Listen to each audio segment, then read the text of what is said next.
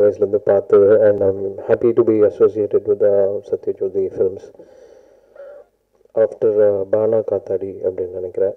Um, uh, Vikram Prabhu அவங்களோட சேர்ந்து first time பண்ணுறோம் ஹிஸ்ட்ரி ரிப்பீட் ஆகுது அப்படின்னு நான் சொல்வேன்.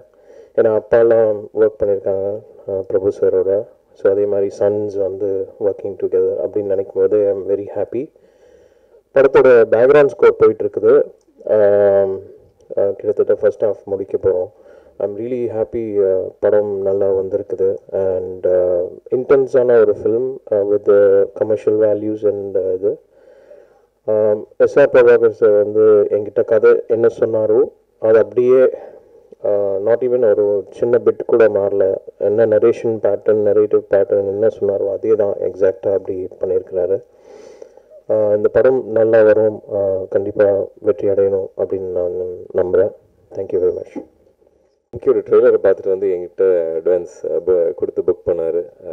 ஸோ அது வந்து எனக்கு கிடைச்ச இந்த இண்டஸ்ட்ரியில் ஒரு முதல் பரிசாக இருந்துச்சு.